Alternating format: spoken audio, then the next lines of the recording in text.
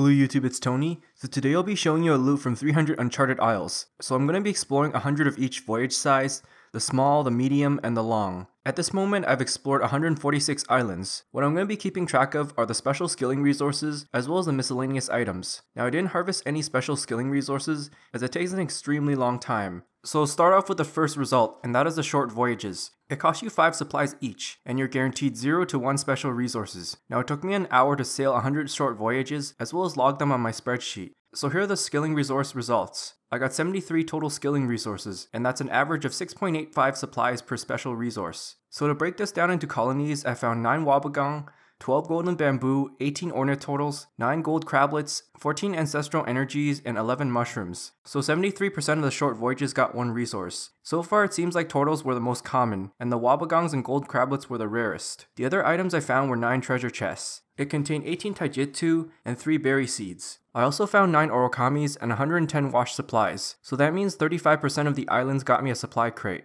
So based on my results by exploring short voyages, this would get me 694 chimes per taijitu, 542 if you're factoring in the wash supplies, 278 with the max upgrade, and 217 with the max upgrade as well as the wash supplies. So in comparison to the official drop rates, it's around 11 in 100 chance of a treasure chest. That means you would average around 0.28 taijitu per voyage. With that being said, unfortunately I got less than average. So the next thing I'll be talking about are the medium voyages, and they cost you 12 supplies, as well as guaranteeing you 2 to 3 special resources. You can also find double colony islands as well. The special resources are basically generated in two batches. The first batch can contain a combination of wobbegong, Golden Bamboo, ornate tortles, or even gold crablets. The second batch will contain either ancestral energies or the mushroom clusters. So one or two of each batch of special resources are generated, which means there's 2 to 3 total resources combined. Anyways, it took me 1.5 hours to explore all of them, then log them on the spreadsheet. I got a total of 265 special resources, which would average me 4.52 supplies per special resource. What's shown in brackets are the double colony resources. So to break this down, I got 17 Wobbegong,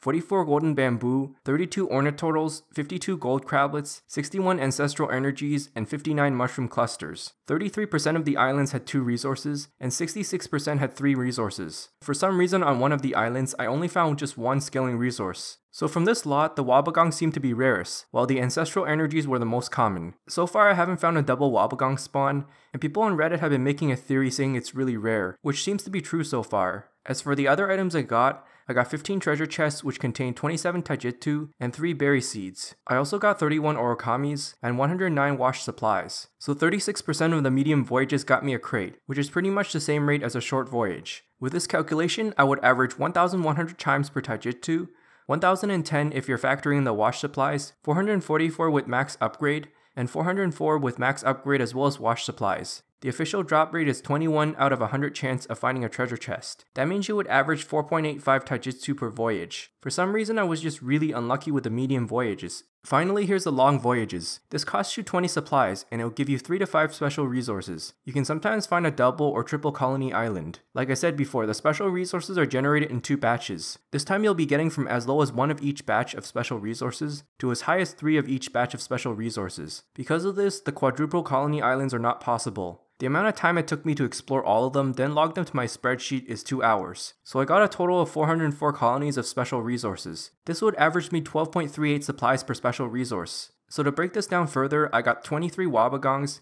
81 golden bamboo, 70 ornate tortles, 70 golden crablets, 75 ancestral energies, and 85 mushroom clusters. 23% of the long voyages I explored had 3 resources, while 50% had 4, and finally 27% had 5. The mushroom clusters seem to be the most common, so yes, as a whole, Wobbegong seem to be the rarest, which is why I never found a double or even a triple Wobbegong spawn. So here are the other items I found. Starting with the 37 treasure chests, I found 108 taijitu and 11 berry seeds. I also found 46 orokamis and 144 wash supplies. So 44% of the long voyages got me at least a supply crate, which seems to be higher than the short and medium voyages. To calculate this, it would cost me 463 chimes per taijitu, 430 if you're factoring in the wash supplies, 185 with the max upgrade, and 172 with the max upgrade as well as the wash supplies. So the official drop rates state that it's 32 out of 100 chance of a treasure chest, which means you would average 0.855 taijitu per voyage. Now I actually got much luckier here, and maybe because I had some bad luck with the medium voyages, so that kind of compensated for that.